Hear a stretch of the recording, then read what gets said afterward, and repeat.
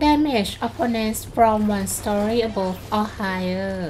เพื่อนๆจะต้องสร้างความเสียหายต่อศัตรูโดย ตัวเราจะต้องอยู่สูงกว่าศัตรู 1 ชั้นหรือว่ามากกว่านั้นก็ได้ opponents เนี่ย ก็จะหมายถึงพวกศัตรูที่เป็นผู้เล่นด้วยกัน ลูกน้องบอส บอส อะไรที่โจมตีเราก่อน นับหมดเลยนะคะ ดังนั้นซายก็เลยจะไปที่เมือง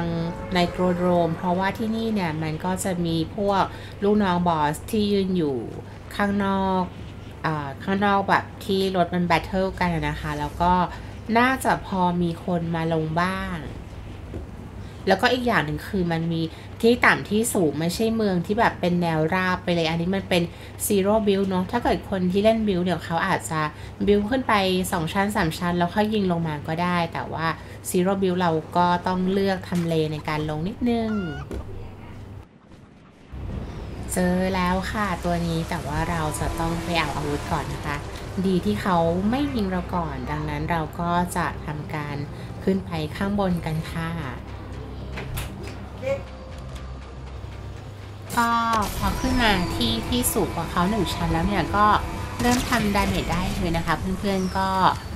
ยิงใส่เขาจะใช้ปืนหรือว่าอาวุธอย่างอื่นได้หมดเลยนะคะ ขอแค่เราอยู่สูงกว่าศัตรูหนึ่งชั้นขึ้นไป หรือว่าจะใช้เป็นรถติดป้อมปืนแล้วก็